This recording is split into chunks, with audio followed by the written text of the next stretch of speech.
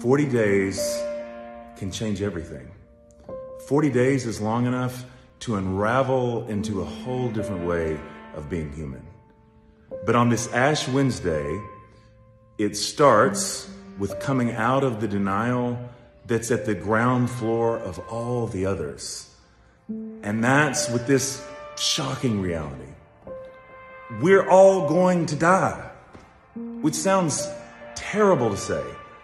I live most of my life completely unaware that myself, that all the people, all the things that I love most in this world do not go on forever.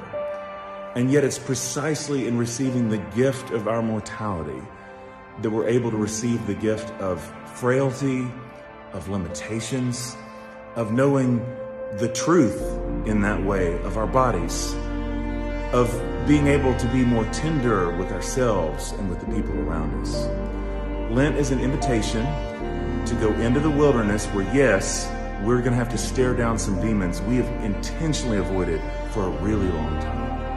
And yet, isn't there some part of us that knows that it's only through this wilderness path that, yes, is one of ashes, of descent, of grief, that we might come to learn our true name?